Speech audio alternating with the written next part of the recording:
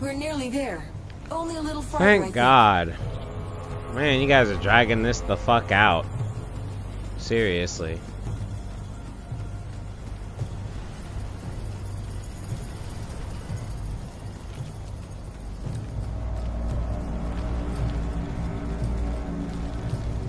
Of course, there's no save point.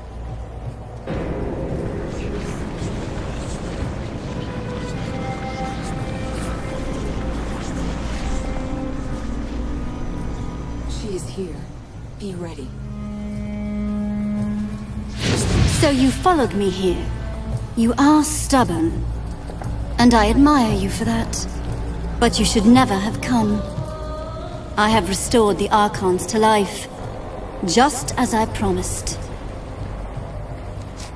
You call them Archons? Their fire is cold and dark. Nothing like the other Archons I've met. No, they are not as they were. But they are bound to me. And they will follow my word.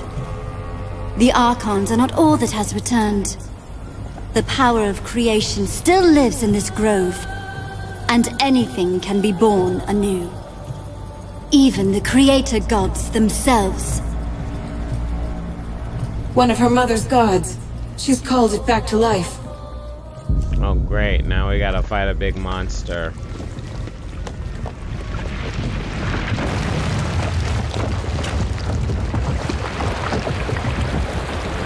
Man, this game is jumping the shark. Look at this shit.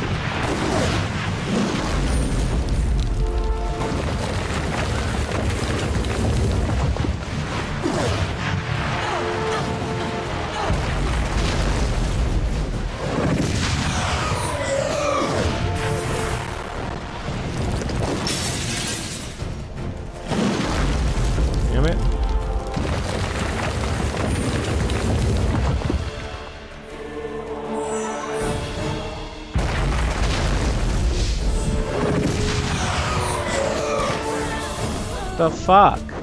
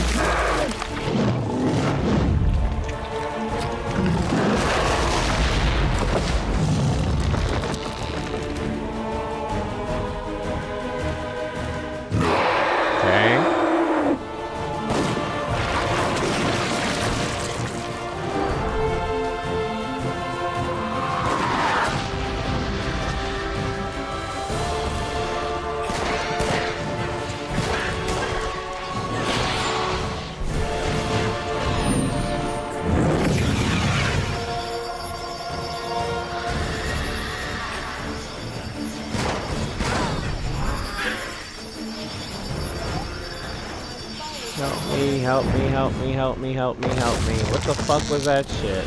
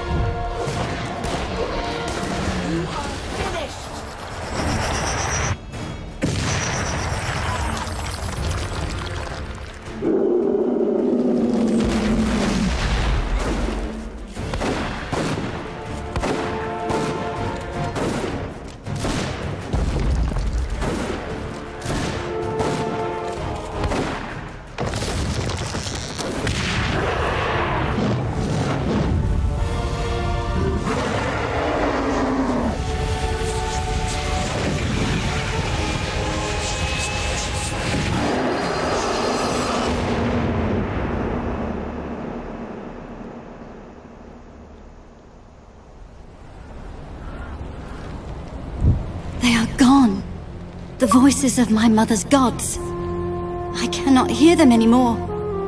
Not even a whisper. They are lost. You will not see them or hear them ever again. You lie, child. Or whatever you truly are behind that innocent face. No, Jeyne Kassynder. I speak the truth. What remained of your mother's gods has been destroyed, and the power of creation has fled this grove. It will never return. You told me that this forest grew from a seed of the first creation. Is it dead then? That cannot be. My mother searched for thousands of years, and this was the only remnant of her gods that she ever found. The power in this forest might have been used to restore the old gods and all their servants to life. Not the twisted half-life that you gave them, Jeyne Kassynder. A true rebirth, as they were at the dawn of the world. But you called upon that power to destroy, not to create. You twisted the power of creation to your own ends, until all that was left was an empty shell, rotted from within. And now, it is gone. And the Archons I fought in the forest, the ones that Jeyne restored to life? Dead, wilted like blossoms, and scattered to the wind. When you slew the reborn god, all Jeyne's creations were undone. In time, the forest will recover. But it will be ordinary, no longer the Mournweald with the power of creation at its heart. Why did this power respond to Jeyne and no one else? Jeyne's mother was first sister. When she died, her fire passed to Jeyne. The first sister stood at the right hand of her gods. Only pale shadows of their minds persisted in this grove. But they remembered her. That is why Jeyne saw her gods in visions and dreams, just as her mother did before her. And that is why Jeyne could unlock the power that was buried here.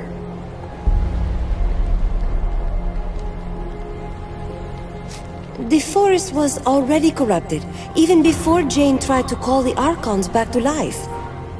The first time Jeyne called on the power of the old gods, it was to murder Hugh Montbarron 30 years ago. She knew she was misusing that power, but she was too full of anger, and she didn't care. After that, the Mournweald grew rotten and sick. All its potential for good was lost. So she came back, and made the same mistake, a second time. Yes, driven by anger again. So the Archons that she called back to life were nothing but monsters. It was the same for the Creator God. The creature that you fought was shaped by Jeyne's fury and guilt. Guilt! Yes, Jeyne Kassynder. You can hide your remorse from yourself, but you cannot hide it from me.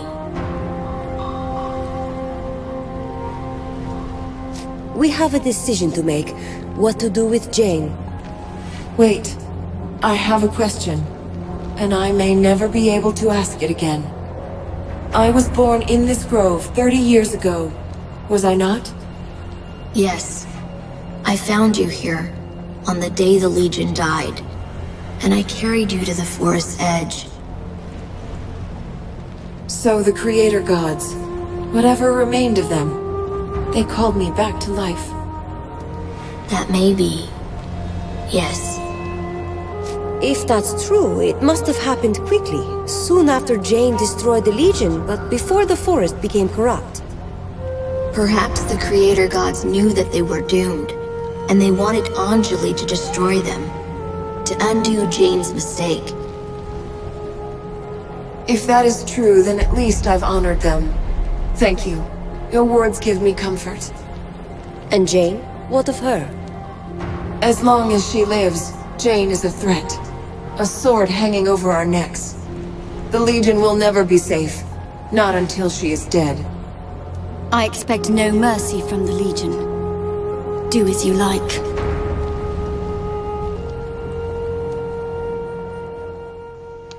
Um... I keep saying that I'm gonna spare Jeyne, and she doesn't have the power of the gods behind her.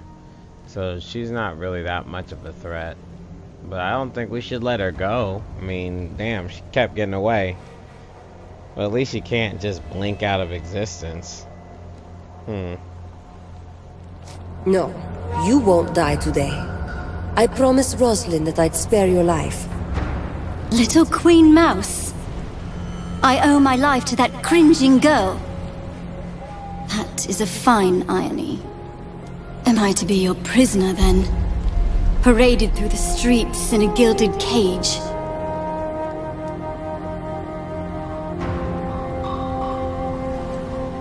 You'll have a fair and public trial. Let the people judge you. The Legion will support them whatever they decide. You are not the Legion I remember. They were arrogant, and justice of any kind was their privilege alone. I accept your judgment of me. Let the war between us end. You are bound by your words, Jeyne Kassynder. The Legion has won, and you will trouble them no more. It's over then. For now, you deserve a rest. But it may be short-lived. We need to build our strength and train more Legionnaires. You will find many willing to join the Legion now. Even a few who might surprise you. And you will need them, soon. The country is still divided, and the Legion has many old enemies who yet live. But you've shown yourself to be fair, as well as strong. Whatever happens, the people of Ebb will stand behind you. You and I started this together. Whatever comes next, I will follow where you lead. We part ways then. I will be watching. And one day, I will see you again.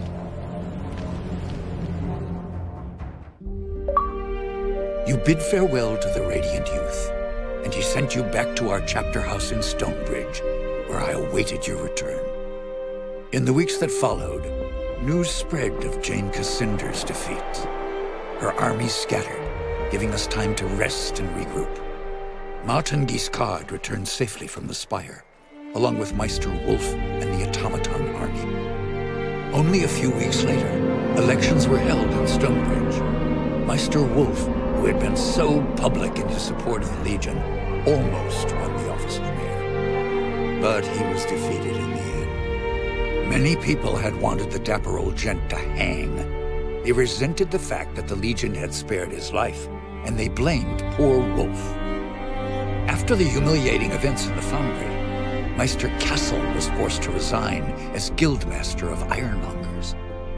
The Cyclopses negotiated a new contract for higher wages, and with the help of Meister Fiddlewick, formed a new workers' union. For the first time in a hundred years, they were permitted to leave the foundry and spend their newfound wealth in the markets and taverns of Stonebridge. Cyclopses are becoming an increasingly common sight in Stonebridge, and many believe that they will eventually take their place as equal citizens of the town. Archambault du Payen, formerly known as the Dapper Old Gent, proved a valuable addition to the Legion. His knowledge of Legion magic allowed us to retake control of the Sentinels that had long guarded our chapter houses and estates. But the Gen couldn't leave our chapter house without drawing an angry mob. His confinement started to drive him mad. So he returned to his beloved causeways, beneath an endless sky, and he dwells there still. With the reopening of the Heroes Crypt, Pilgrims returned to the Rukkenvahl, and merchants followed. The following winter was harsh, just as Lazar Basili feared. But thanks to the trade from the south, the people of Raven's Rill stayed warm and fed. When spring came, many more pilgrims arrived, and the town of Raven's Rill grew wealthy again. Lazar and his people built a new stone wall around the town, and reclaimed their abandoned houses and farmsteads from the forest. It is a happy change of fortune for a long-suffering town. In his last letter to me, Lazar added one other piece of news. Gunderic Manor has a new mistress, a witch called Leona. The manor has become a gathering place for scores of Lescanzi witches. many of whom are apparently quite beautiful. Lazar reports that the young men of Raven's Rill have also begun frequenting the manor, much to the irritation of their mothers and wives. Since the local men will not hear any talk of banishing the witches, it appears that Leona and her people have found a new home, which was perhaps what she intended from the start. Queen Roslyn abandoned Glitterdelve, embarking on a tour of all the cities and towns of the West, meeting as many of her subjects as she could. The Queen showed all the energy of youth, and I think she fully expects to reunite the country in a matter of months, not years. Reality may not be so kind as Lord Devonsey has tried to make her understand. In truth, the future of this country depends more upon what we decide. If she doesn't have the Legion behind her, the Queen is only a single voice, well-meaning though she might be. As for Devonsey himself, I think the man was impressed by your decision to spare Jeyne Kassynder, as the Queen had asked.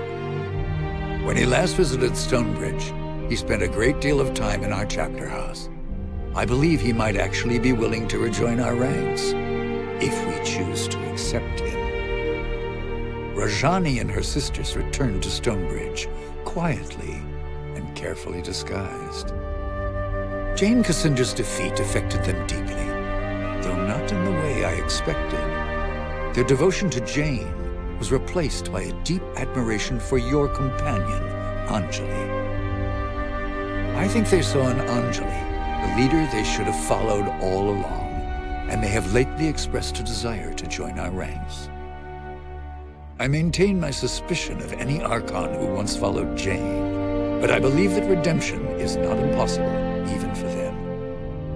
Jeyne Kassynder was brought as a prisoner to Stonebridge, and a great public trial was convened to decide her fate. Representatives of all the major factions sat in judgment. Everyone agreed that she was guilty of terrible crimes against Ebb, but her sentence was the cause of great debate. It was Meister Mudgutter, with typical goblin cunning, who devised her punishment. Jeyne Kassynder was imprisoned in the same mining tunnels where she had trapped the royal court, sealed forever beneath the ground, in the endless dark. An Archon thrives upon fire. Who knows what terrible change she might suffer? when she is forever deprived of light. I only know this. The pale, withered hand that emerges from her cell each day to take her plate of food bears little resemblance to the woman who was shut inside. As for the Legion, the rest of our story is yet to be told. We have a nation to reforge, a fellowship to rebuild, and old enemies who would see us destroyed. And we have questions to decide. Who will assume true power in Ebb if the nation is restored? And who will take the mantle of Grand Master? But these matters I leave for another chronicle and another time. Whatever happens, know that you will not face the future alone. The Legion will stand by you, always.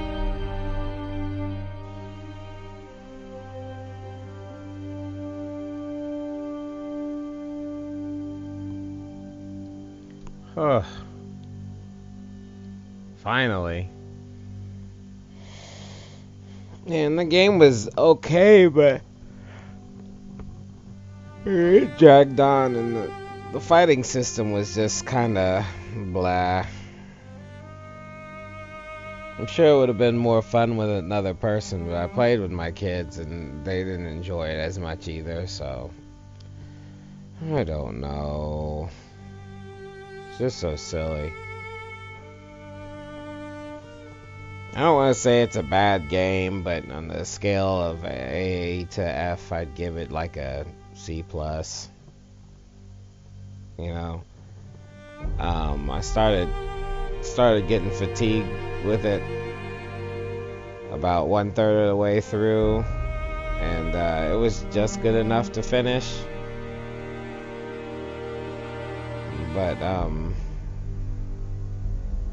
there was never a time during the game where I felt awesome or anything like that. So, yeah. maybe I picked the wrong character or something, but I, I had a problem using the melee character, so I picked the distance lady, and that one seemed to work out a little bit better, and she was cuter, so whatever, but yeah, no. Anyway, well, that's over with. I'm gonna play something that that requires a lot more action. See you guys on the next one. Peace.